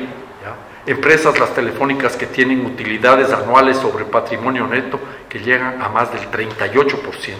Hay otras empresas que tienen utilidades, algunas cifras nos dan, del 90% al año. 90%. Es cierto que ha habido una mejor redistribución de los ingresos, pero no se ha afectado la lógica de acumulación del capital. Y los grupos económicos son los principales beneficiarios. En un documento interno del gobierno se llegó a reconocer, palabras más, palabras menos, que nunca antes los grupos económicos poderosos han estado mejor, nunca antes los pobres de la patria han estado menos peor. Eso es entendible porque había mucho dinero y no ha habido una afectación de la lógica de acumulación. Luego también tenemos que reconocer que Ecuador tiene un problema grave al ser un país que está atado al mercado mundial como productor y exportador de materias primas. Y no ha habido una transformación de la matriz productiva. Se puede hablar ahí de algunas obras importantes, pero que no configuran una real transformación de la matriz productiva. El petróleo se acaba y el presidente de la República apuesta por la mega minería amplía la frontera petrolera y apuesta por la mega minería, que fue una de las grandes aspiraciones de los gobiernos neoliberales. Y entonces ahí nos encontramos con algunas dudas. Y si vemos que, y reconozco que hay inversión en educación, en salud, en obra pública, podríamos hablar sobre la calidad de esa educación. ¿Se ha avanzado en la lógica del Estado plurinacional? No, lamentablemente. Se cierran las escuelas comunitarias, se elimina la educación intercultural bilingüe, se establece una educación tecnocrática que favorece la lógica de acumulación individualizante, consumista, productivista, que no tiene nada que ver con el buen vivir. En el ámbito de la salud, ¿hay importante inversión en salud? Sí, ha crecido. Estamos en educación y en salud todavía lejos de lo que manda la Constitución. La Constitución ordena 6% del Producto Interno Bruto al menos para educación y 4% para salud. En ambos casos estamos por la mitad, educación un poco más. Pero en la salud ha habido una mayor inversión y ¿quién ha hecho el negocio de esa mayor inversión? Las clínicas de hospitales privados, las farmacéuticas privadas, los, los grupos de médicos privados. Ya tenemos un grave problema. No ha habido una transformación estructural.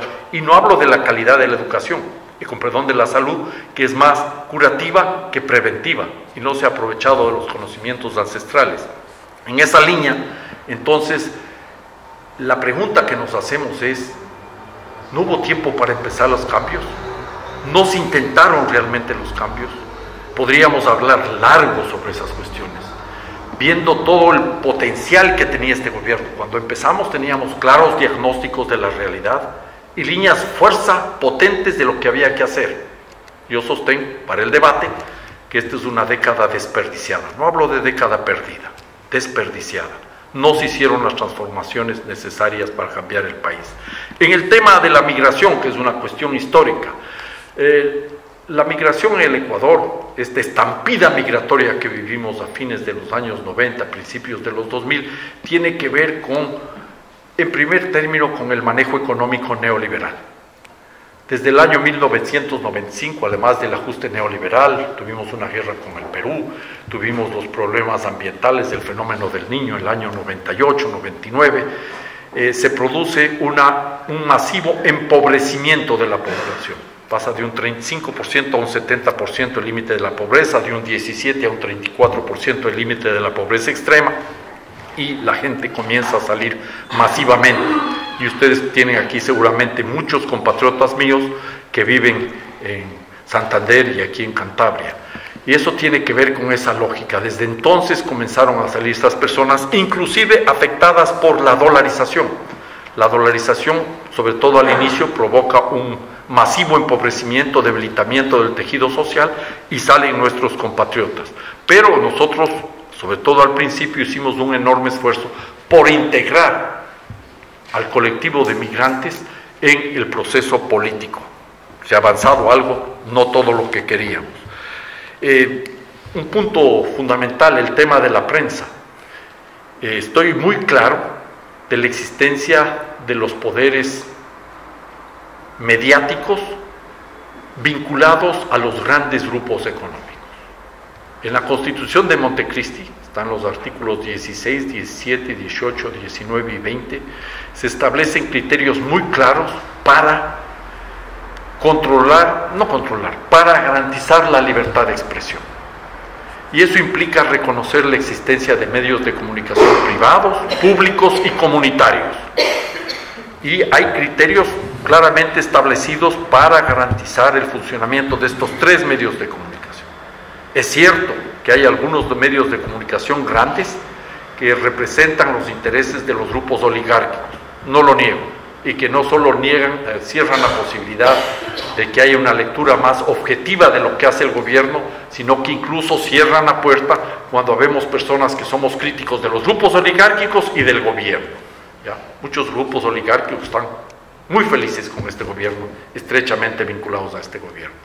Lo grave es que en lugar de configurar medios de comunicación público, hay medios de comunicación gubernamentales, que es una cosa completamente diferente a un medio de comunicación público. Un medio de comunicación público debería estar controlado por la sociedad y hay distintos ejemplos en el mundo de cómo hacerlo. Los medios de comunicación gubernamentales son cajas de resonancia del gobierno, son espacios para permanentemente aplaudir al gobierno y por supuesto para criticar y desprestigiar a quienes se oponen al gobierno. La tarea acá en los medios de comunicación, a mi modo de ver, no es buscar mecanismos para controlarlo. Ese no puede ser el objetivo. Lo que tenemos que garantizar la libertad de expresión, no solo de las personas que trabajan en comunicación, de los periodistas, Paco, sino de la ciudadanía en general. Y eso implica una democratización de los medios hacia adentro y hacia afuera. Si la libertad no está garantizada para todos, no es libertad. Como decía Rosa Luxemburgo, la libertad tiene que ser la libertad del que piensa diferente, no solo de quienes sean gobierno, por más importante y grande que sea el partido de gobierno. De hecho, en Argentina han avanzado un concepto muy interesante que es el de libertad de comunicación, que, da el salto y se salta este tema de libertad de prensa o de expresión. Nosotros también. Dos, dos preguntas más, si os parece, por la hora, Marcos, que allí, ¿vale? Eh, porque son las 9 y 5, ya sabéis que tenemos limitado un poquito el tiempo porque pues, los trabajadores del ejército tienen también que descansar, así que bueno, dos y se una más rápido. Sí, más. Yo voy rápido. Yo estuve viviendo en Ecuador, en Loja, en 2012-2013. Una experiencia interesantísima, pero también triste en el sentido de lo que viví. Elecciones, apoyé al gobierno que entonces, en la Alianza País, en el Cantón, y empecé a ver estas cosas que, bueno, perfecto lo que ha narrado, ¿no? cómo iban configurándose ya pues, historias que, que, han dado para mí al traste por una grandísima ilusión que al menos de este lado del, del charco teníamos. O al menos yo vine con mucha derrotado en muchas cosas. ¿no? Y el, el, problema es que al hablarlo allí con gente que había, que había estado implicada en el proceso vamos a decir, preconstitucional y, había estado en los movimientos y en, muchos sectores de la izquierda, me miraba como quien mira a un dicho, ¿no? Y dije, bueno, pues a callar, cuando llegué a España lo cuento por allí. Cuando llegué aquí lo conté y me volvieron a mirar como otro bicho. Paco es testigo de algunas cosas. No solo como eso, sino, bueno, pues cállate, hay que apoyar eso, etcétera, etcétera. Es decir, esa especie de, negar no criticar aquello que estaba ocurriendo, que la gente también te contaba y que tú veías en, en directo, ¿no? Y bueno, pues te quedas con el cariño de la gente, con un país maravilloso y con una ocasión, no sé si perdida, pero como decías, una década en bypass, no sé cómo se dice. Entonces me dio mucha rabia eso y siempre lo comento en los momentos en que sale el asunto, ¿no? Es decir, pues Vaya, ahí está, es mi experiencia. Boaventura de Sousa Santos decía que tenemos el, el síndrome cubano, de, cuando no se podía criticar ningún aspecto de la revolución cubana. Ella decía que la mejor manera de apoyar un proceso revolucionario o contrasistémico es cuestionarlo para que pueda ajustarse, para que pueda, pero eso se lleva mal. Eh, claro.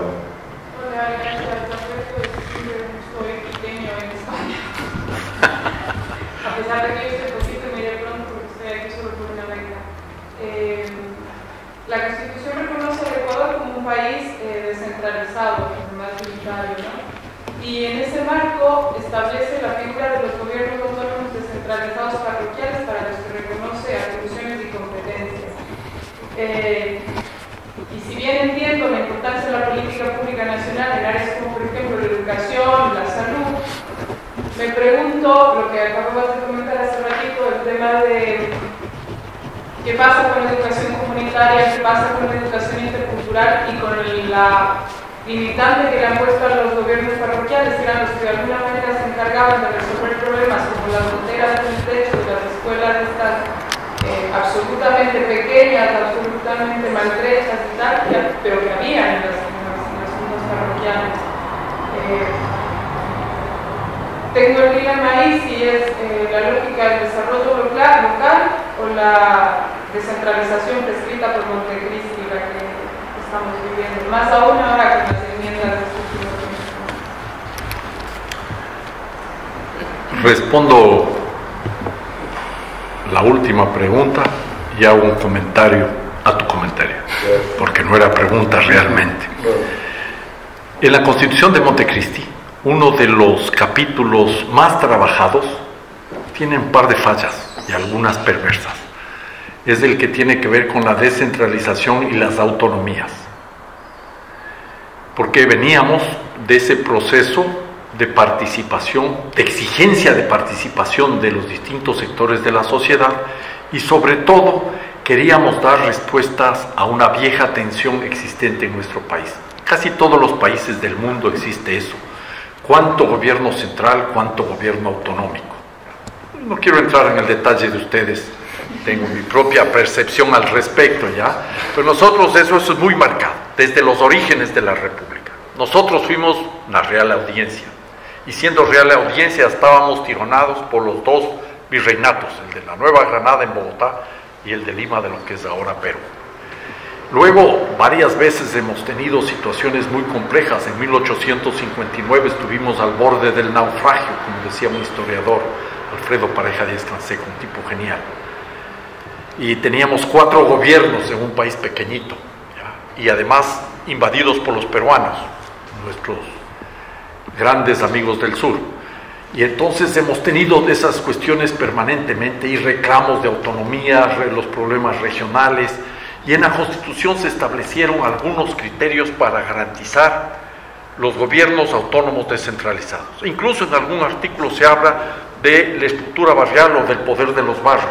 Luego vienen las juntas parroquiales, que son rurales, los cantones, las provincias, y se planteó la necesidad de construir regiones, ¿ya?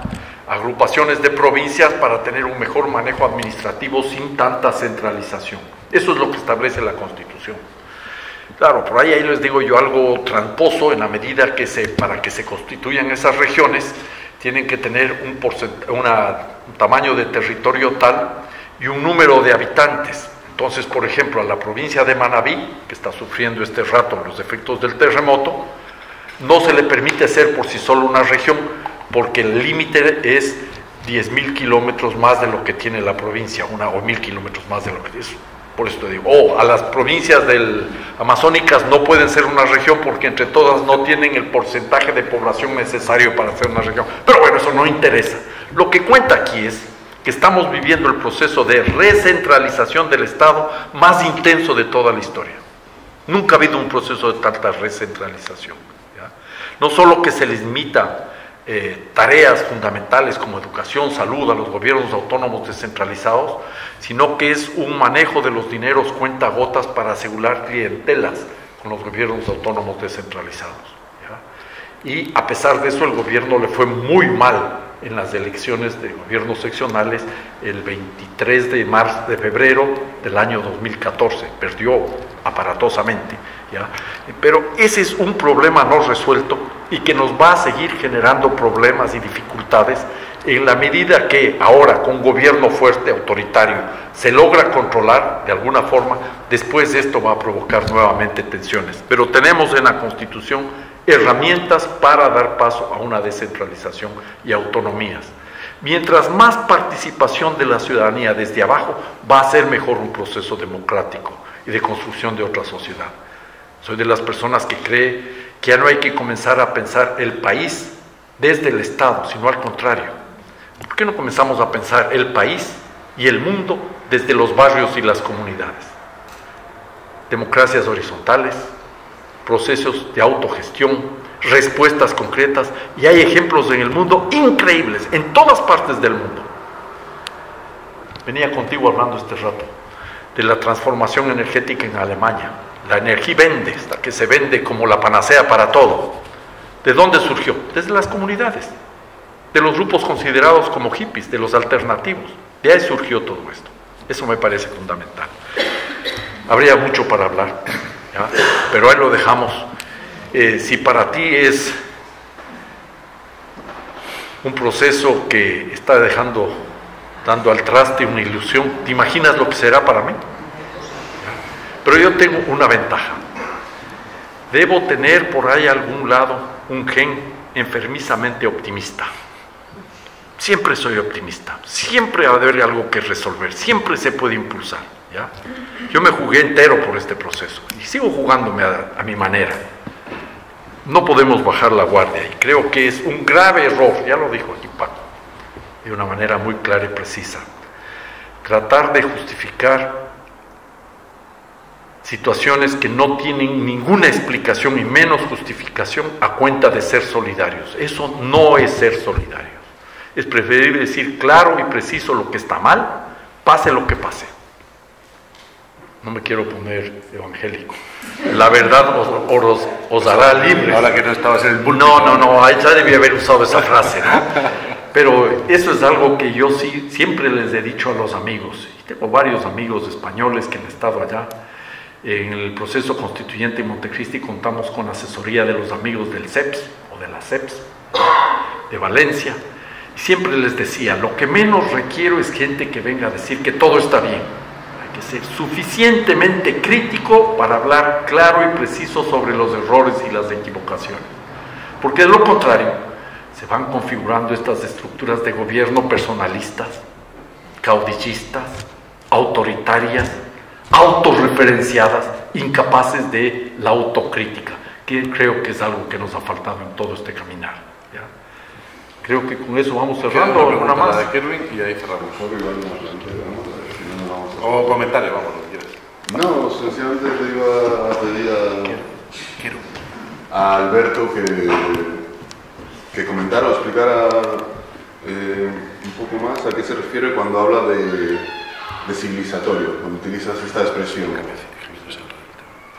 Eh, cuando hablas del buen vivir como una alternativa civilizatoria al desarrollismo, eh, no recuerdo en qué otro caso concreto, no, pero digamos que recurres en reiteradas ocasiones a, este adjetivo y me gustaría que, explicaras, si puede ser, a qué te refieres en la medida de lo que lo pueda ser preciso.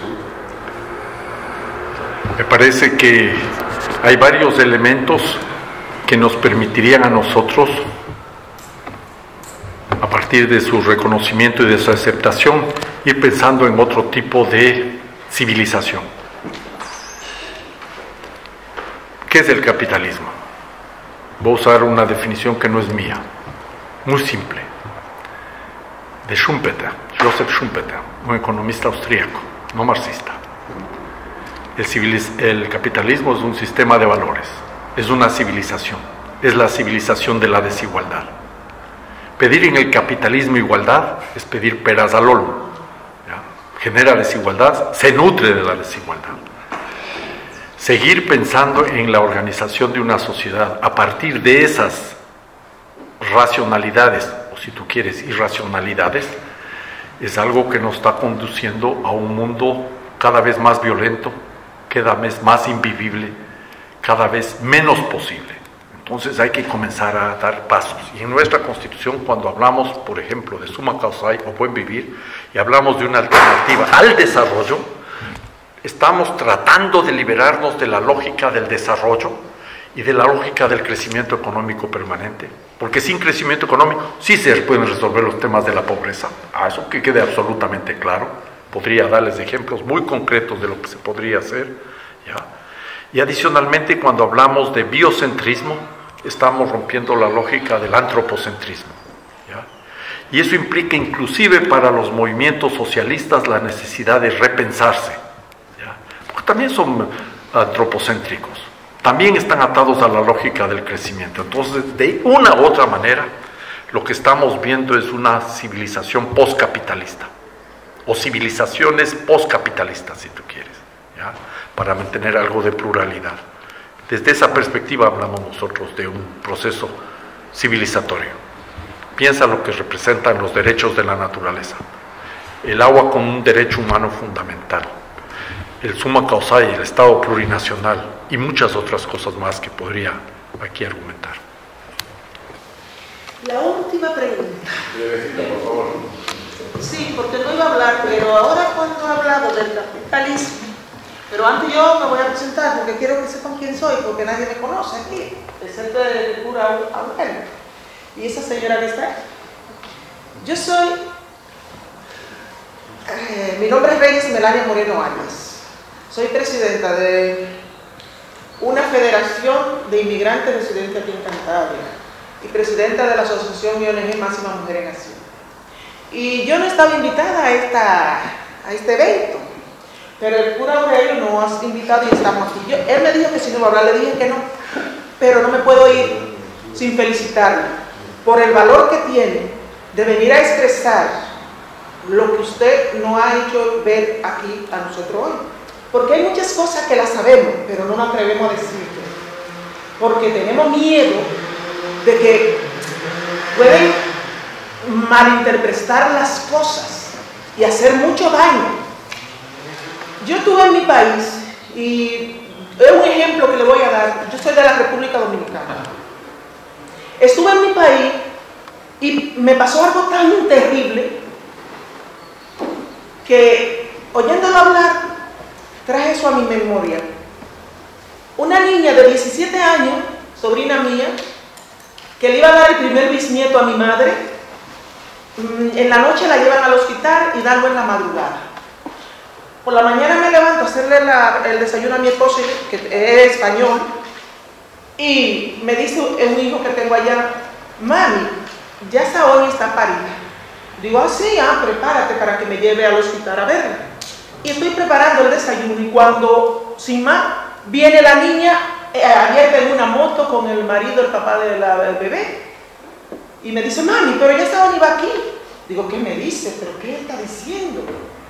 Y cuando, sin más, voy a la casa donde estaba la niña y le digo, mi hija, ¿qué te ha pasado? Dice, eh, y se echa a. Digo, es que lo que ha hecho está mal, te pudo dar un derrame, tú no sabes que no te puede abrir en una moto acabando de dar a luz. Y me dice, que no había ni agua para yo ducharme. Estaba, habíamos eh, dos personas en una cama y eso yo no podía aguantarlo. Yo vengo a mi casa, me ducho y me puedo agotar en una cama. Y, yo dije, pero es que esto no puede ser. Y digo, eh, eh, prepárate, pedí un taxi y volví con ella al hospital. Y lo único que yo pedía era que me metieran en una cama la niña, porque era prematuro, el bebé era siete mesino, para que ella estuviese ahí. Y se lo estoy diciendo a las enfermeras y digo, ¿y cómo es posible que una niña con 17 años la dejen salir y nadie nadie se entera y nadie sabe nada? Ah, no, doña, ya no están niñas, ya tiene un, bebé no están niñas. Y eh, además, ah, eh, aquí no hay cama. Digo yo, pero es que hay que buscar un sitio donde estar. Y dice, hable con ese doctor. Y cuando yo fui a hablar con el médico, le, le digo, doctor, eh, pero ¿cómo es posible que esta niña no hay cama? Y le estoy diciendo, dice, usted tiene aire de que se ve que vino de fuera. Pues usted no sabe cómo están las cosas aquí. Digo, sí, yo sé cómo están las cosas aquí, o no lo sé, pero eh, eso no quiere decir que no hay una cama para acomodar a la niña que tiene 17 años. Y dice, bueno, y cogió, se va caminando. Y yo, doctor, pero yo estoy hablando con usted, atenciónenme. Y, yo no sabía que el médico tenía una pistola. Y, me hizo así, se puso la mano en la pistola dice, le digo yo, cuando vi eso, digo yo, lo que tengo es boca para hablar. Entonces retrocedí. Y volví, y voy al despacho de una enfermera y le estoy contando lo que me está pasando. En ese momento en- entra el médico y dice, eh, el que se mete conmigo o va a la cárcel o al cementerio. Y yo dije, yo me voy, si yo me enfrento a este señor, yo no sé lo que me pueda pasar. Entonces, lo que usted fue por quedarme callado. Y después se lo estoy contando a algunas personas y me dicen, deja la cosa así. Digo, así, así es que está mi país, que hay que callar y hay que dejar la cosa así. Mira para otro lado, déjalo así. Y la gente no sabemos reclamar nuestro derecho.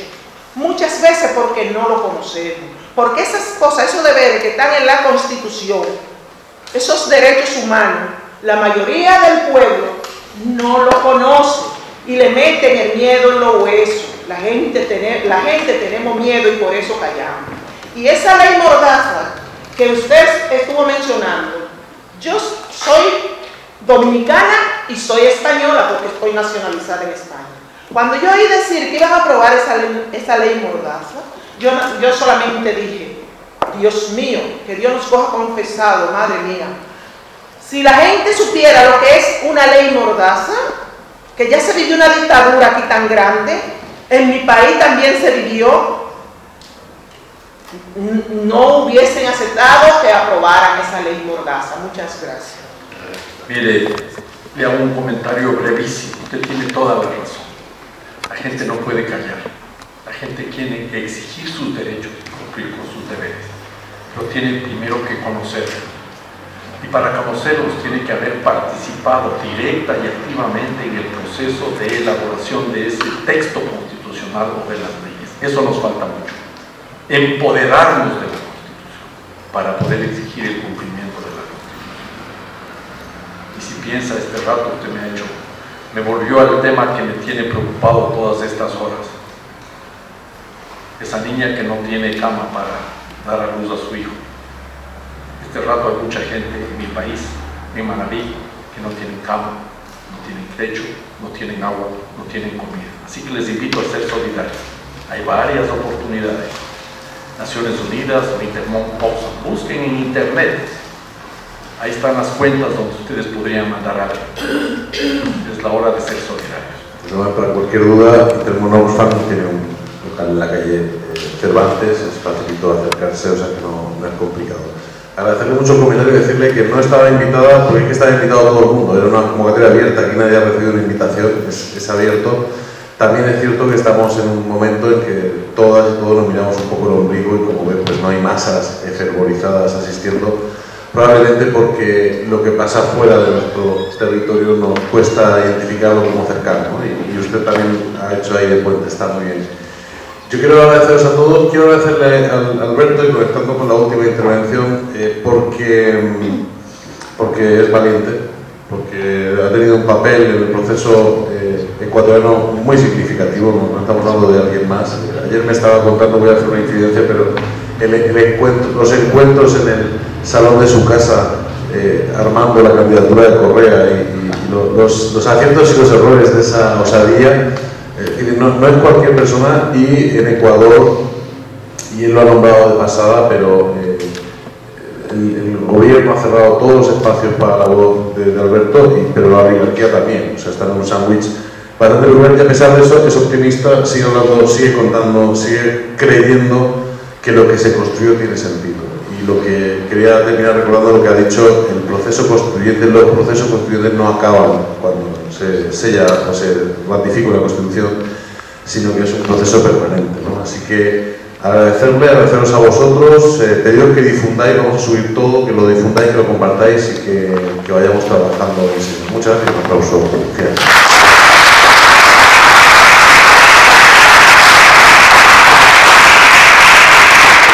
final. Mañana a las 7 y media es la sesión final de las jornadas. Es en el salón de actos de comisiones obreras aquí abajo y es un encuentro de ciudadanos y ciudadanas a la que todos estamos invitados y organizaciones para que empecemos a reflexionar un poco en nuestro contexto. Gracias.